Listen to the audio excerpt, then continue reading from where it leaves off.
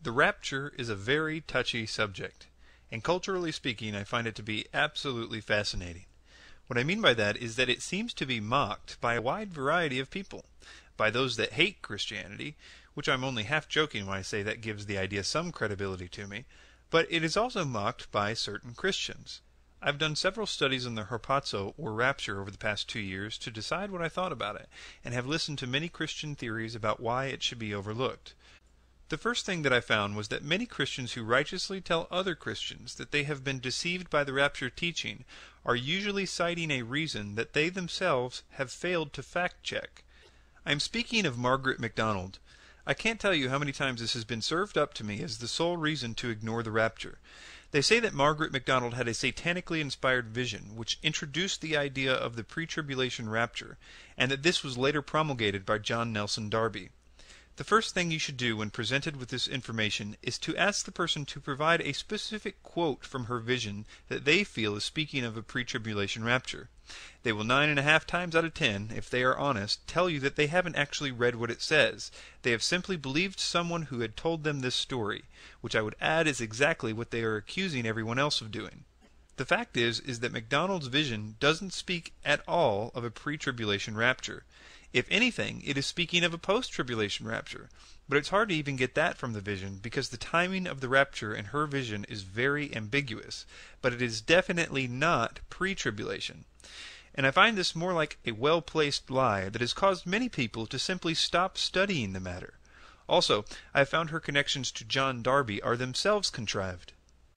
Many people say that the pre-tribulation or pre-wrath rapture wasn't taught until the early 1700s, and therefore it couldn't be true.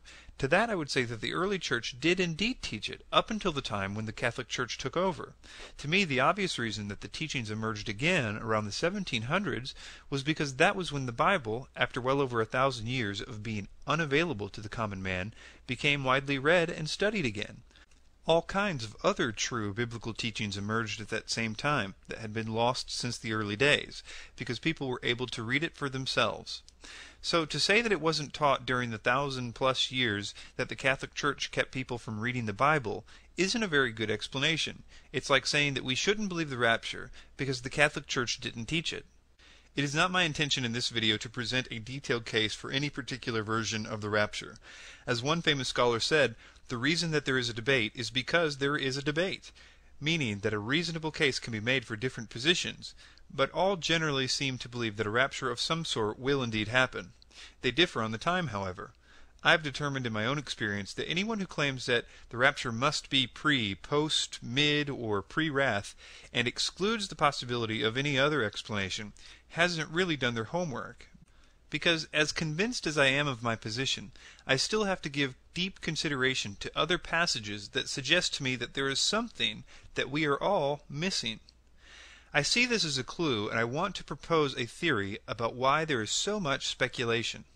I think that just as the angel told Daniel to seal up the words of his prophecy until the time of the end, I think it's possible that the rapture timing is similarly sealed up intentionally difficult to discern perfectly. I often get the impression that there is a spiritual padlock on the question of the timing. I would suggest that this padlock is not for us, but for Satan. I have always considered that the rapture must be, if true, Satan's biggest fear. Satan is a serious student of Bible prophecy, you can bet, and I know he has spent some time considering this event, because unless he comes up with a way to explain it away to non believers, he runs the risk of his entire scheme crashing down. After all, if people saw all the Christians taken away, they would be inclined to believe that the rapture was real and that Christianity was true, which is an unacceptable arrangement for Satan. If he knew the exact details of the timing, he could precisely plan for it, much like he did with knowing the prophecy of the birth of the Messiah and his attempts to kill all the firstborn, or many similar instances in the Bible that a Bible student could point you to. But if he only knows the general time, he, like us, can't plan as well for it. Nevertheless, I believe that he, like us, should know the general time. I want to propose a series of theories about the rapture and the deceptions that I think will surround it. People often discuss Project Bluebeam and similar theories, but I think that it's going to be a little more complicated than that. First, I want to suggest that Satan is going to kill two birds with one stone, so to speak, with his rapture explanation. I think the primary mission is to explain away this event to keep people from seeing the truth of it. But I think that he can use this explanation to get a lot more done for his ultimate goal. The same explanation can be used to unite the world to a single religion, while simultaneously giving a global reason to persecute Christians. After much thought, I am convinced, for several reasons, that this explanation will be aliens, along with certain aspects of the 2012 propaganda. And I think we are all being prepared for this in several ways. What if there was an event like a rapture? I tend to think it will be accompanied by a massive earthquake, like in the sixth seal in the book of Revelation, a la David Lowe's book, Earthquake Resurrection. But that's besides the point. What if aliens immediately showed up, claiming responsibility for the rapture? Many of us would be so shocked we would be inclined to believe anything that they said. Now, before you think that I've gone completely mad, please understand that I've spent a great deal of time looking into testimonies of people about their encounters with these quote unquote aliens, and I'm convinced that they are extra dimensional entities, and that this is a spiritual phenomena with very physical components.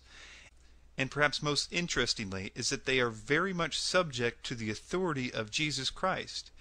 Please look into the description section for a huge list of references to this fact. So this brings up two points. One, that many people who have alien abduction experiences, and interestingly other experiences like channeling and other types of communication with this realm, report a similar preoccupation that these beings seem to have. Remember, this is reported by non Christians who usually have no clue that they are actually communicating with demons who have a very specific agenda. They are usually told by the entities that they are talking to aliens or angels or light beings or ascended masters or whatever the person's paradigm allows. But the interesting thing is that they all say the entities are telling them to tell people about a coming cleansing of the earth, a ridding of the earth of those that are not ready for the new age. They are told that they will be taken away to be made ready to rejoin society. Very interesting, however, is that a certain percentage of the experiencers reverse it and say that those that will be taken away are the ones that are prepared for the New Age, for instance, the New Age gurus, etc.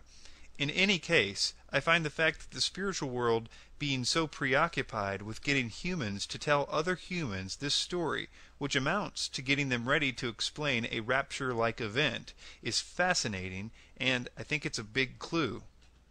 The other aspect is that if it were true that these entities had figured out a way to gain physical bodies, which I'm still not convinced of, but were still subject to the authority of Jesus, which I am sure of, see description section, they would automatically find no spiritual resistance if they were to present themselves right after all the Christians just left. Sure, there would be many instant conversions after the rapture, but it would take some time for them to build up understanding of their spiritual powers over the demonic. After all, many Christians today don't even believe that they have any particular power. It is like it is said in the Bible, speaking of the church in the last days they will have a form of godliness, but deny the power thereof. Can you imagine if, say, a major war was stopped in mid war by alien ships who said that they had come to stop us from destroying ourselves? And they also told us that they were our creators via genetic engineering. This would cause a few things to happen.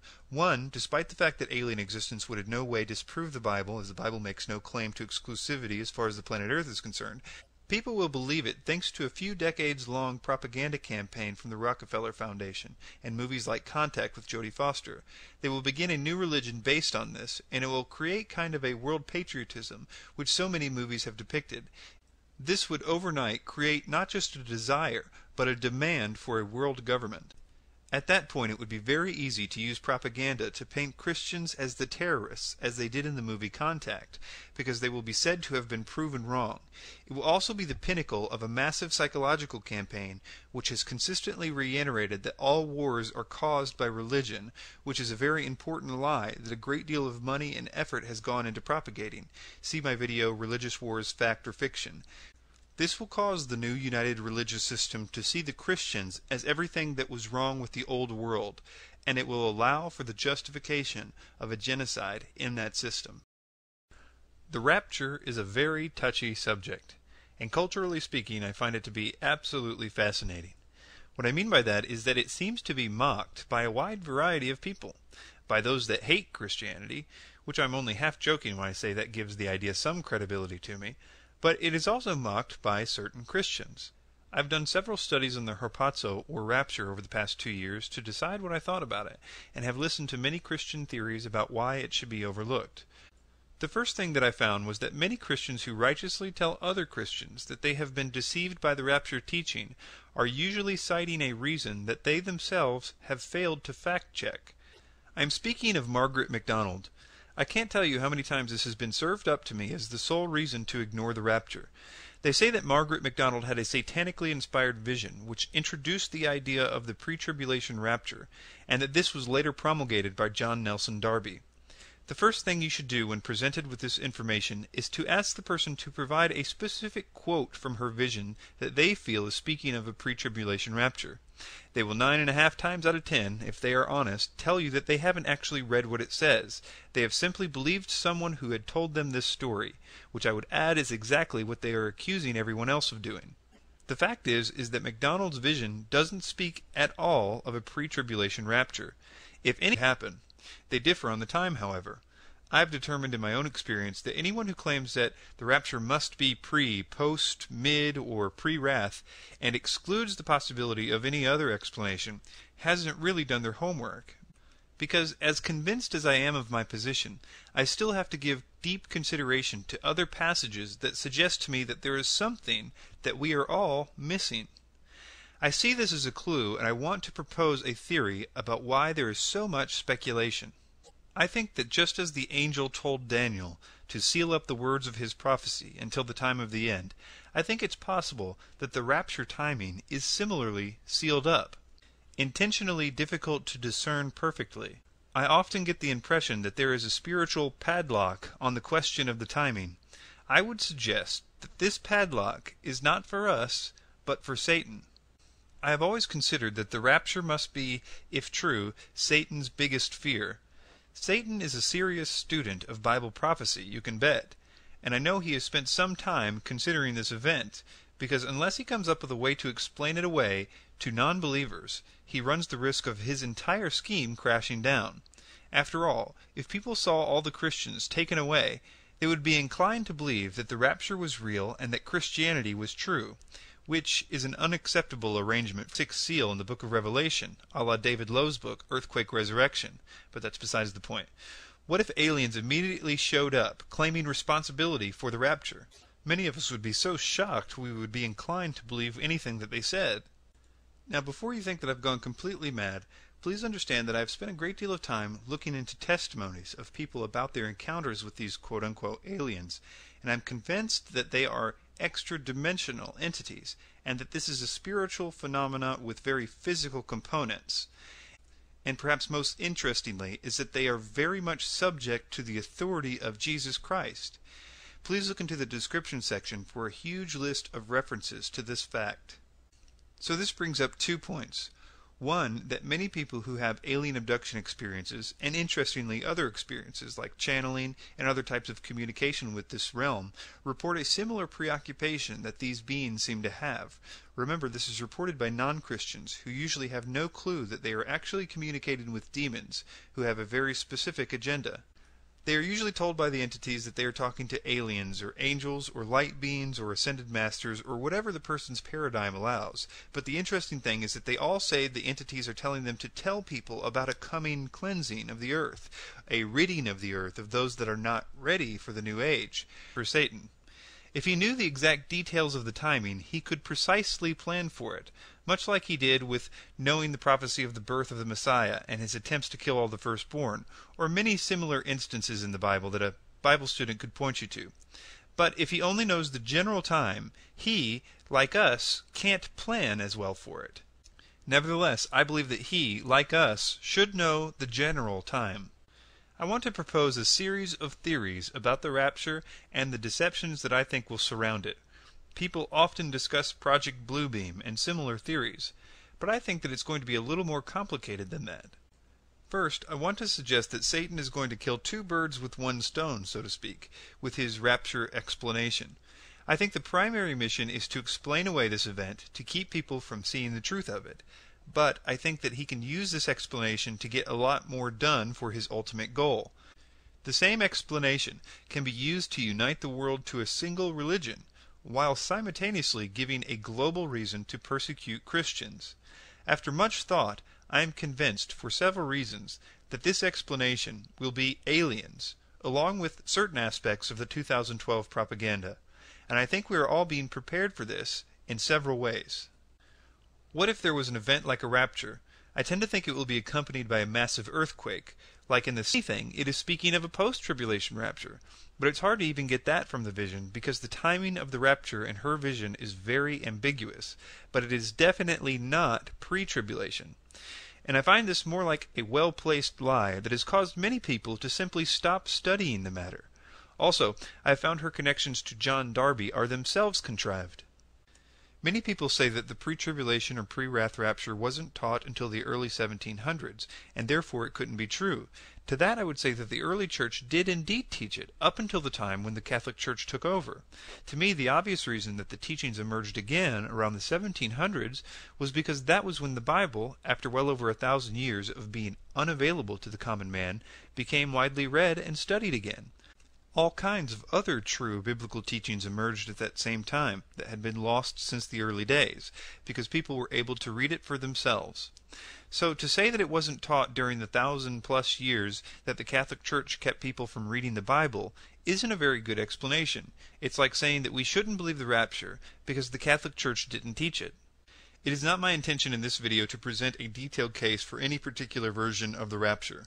As one famous scholar said, the reason that there is a debate is because there is a debate, meaning that a reasonable case can be made for different positions, but all generally seem to believe that a rapture of some sort will indeed